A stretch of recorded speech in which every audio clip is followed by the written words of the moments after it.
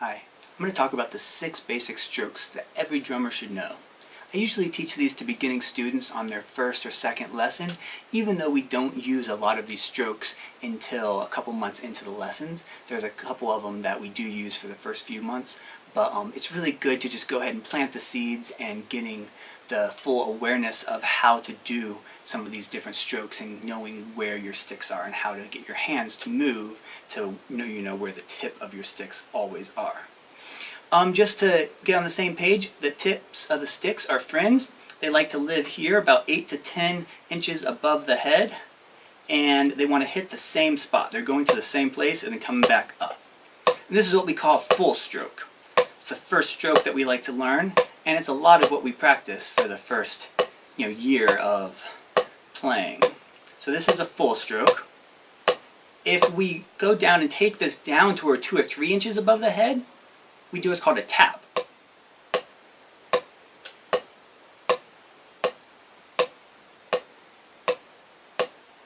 So full strokes, and then taps. Full stroke, tap. So that's a good exercise to do some full strokes and taps back and forth. Just works on those first two.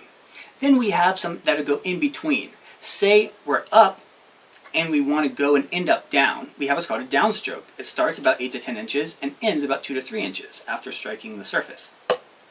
And then we can bring it up like that to practice. Downstroke, downstroke, downstroke, downstroke, downstroke, downstroke. The opposite would be an upstroke. We start down, then we end up after striking the surface. Up, up. And then we bring them down on the elevator, up, just practicing some upstrokes. So if we take those first four strokes together, we're going to do full, full, down, down, tap, tap, up, up. That makes sense? So we do two of each, and then we do two fulls, then we do two downs, two taps, and then two ups. Maybe let's try it together. We'll do it like we're in a mirror. So this is our right hand, this is our left hand. You can play along with me. And we'll do the same thing. We'll do it four times. Full, full, down, down, tap, tap, up, up. Ready, go. Full, full, down, down, tap, tap, up, up. Full, full, down, down, tap, tap, up full, full, down, down, tap, tap, up, up, full, full, down, down, tap, tap, up, up. And so for an extra little bonus that isn't one of these six basic strokes, I want to show you guys a flam, which is doing a downstroke and an upstroke at the same time. But the upstroke is going to hit slightly before the downstroke. This is one of the basic drum rudiments. And I just decided to show it here just so you can kind of see what we use these for.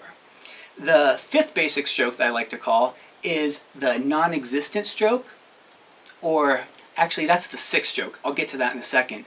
What I like to call the buzz stroke, the press stroke, or the multiple bounce.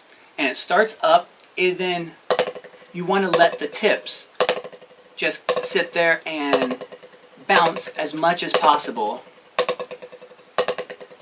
like this. The way to do that is because if you just drop the stick, it has one big bounce, and then the bounces are kind of slow and they speed up as they get there. We want to stop that big bounce and the slow bounces and go straight to the fast ones. So a good way to do that is to physically pull up the back end of the stick and that, you can pull it up with your fingers back here, your, a lot of times your ring finger. You can also tighten your fulcrum a little bit, which is right where you pinch it between the index and thumb. So this is the multiple bounce. And a good exercise to practice this one is to do it, see how long you can get it, and then start the next hand. And then you can start to speed it up and get them to start overlapping to get what we call a buzz roll or a press roll. You just want, it's like it's tearing silk or someone's opening the curtains.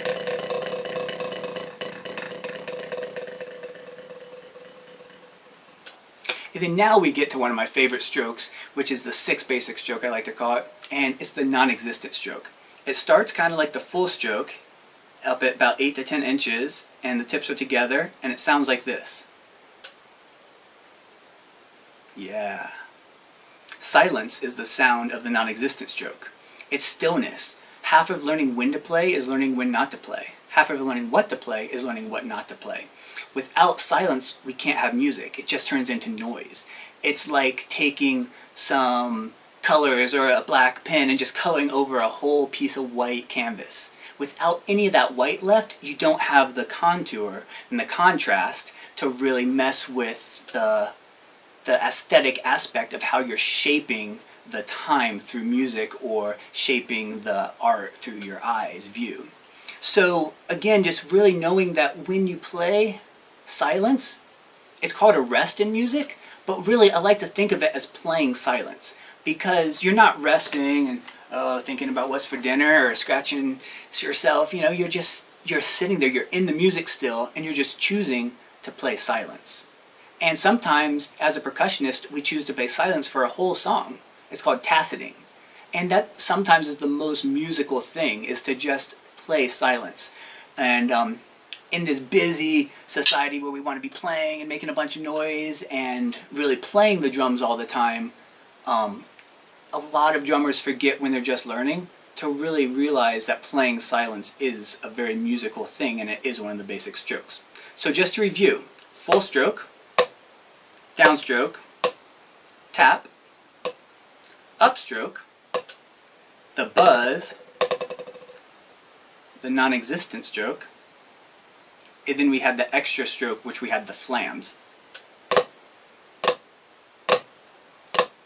I think these exercises and knowing these strokes are really important, especially at the beginning age. And um, if you've been playing for a while, it's great to be able to go back and review these because having always knowing where the tips of our sticks are and being in control of our sticks is really, in essence, what drumming is about, um, besides grooving and playing some funky rhythms. I hope this helps you um, get control of your sticks. I hope you're having a great day.